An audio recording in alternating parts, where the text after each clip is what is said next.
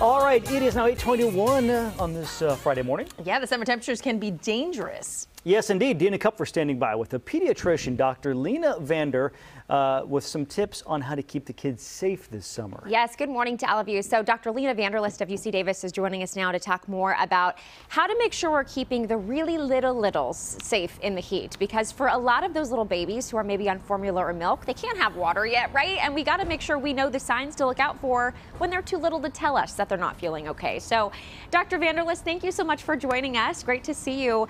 What are some of the first warning signs if you have a young, young baby infant who might be dealing with some stress related illnesses because of the heat? Yeah, so of course they can't tell you when they're feeling overheated. So you may see that their skin is flushing, they might seem a little bit more low energy or want to sleep more. And importantly, you're going to feel those wet diapers start to diminish, right? Those heavy diapers might start to feel like less. And just like you mentioned, um, infants under six months old cannot have water. So that's when it's time to increase the breastfeeding, increase the breast milk or the formula.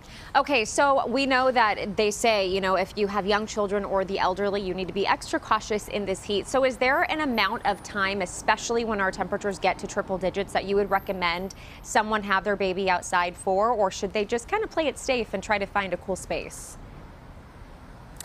I would play it safe and find a cool space. If you are going stir crazy, these morning hours are the best time to get out for a walk. But really later in the day in Sacramento, the heat index, especially this weekend, is just not going to be safe for young children. Okay, and then also when we're talking about hot temperatures, we've done so many stories on hot cars, uh, hot playgrounds, hot surfaces. What is your advice to parents if they do want to get out and maybe take their kiddos outside just for a little bit to get the energy out? What's some good uh, words of wisdom that you have for those folks?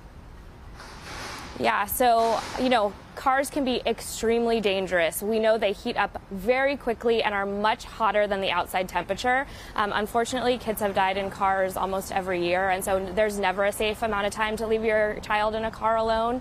Um, and then when it comes to other things, you know, you're just driving in the car, you want to make sure you, you feel those car seats for those, you know, straps and buckles, or if you're at the playground, the slide, because they can get extremely hot and can lead to burns in children. So make sure you're extra vigilant this weekend. We want to keep all of our kids safe.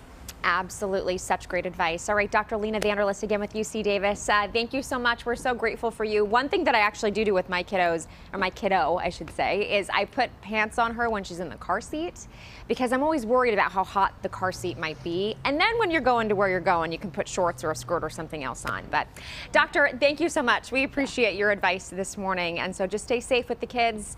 Make sure you're also being cautious of the pets and their paws on the ground. Back to you guys. So important. Dina, mm -hmm. thank you.